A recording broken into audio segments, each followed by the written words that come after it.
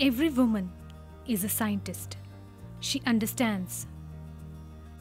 She experiments. She observes. She measures. She communicates. She concludes. Imagine the face of this world if the scientist inside the home would step out.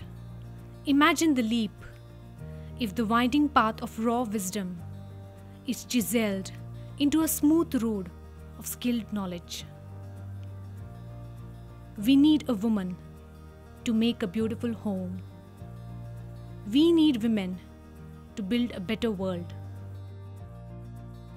We pray that the scientist inside every woman evolves and contributes to give meaning to research and innovation.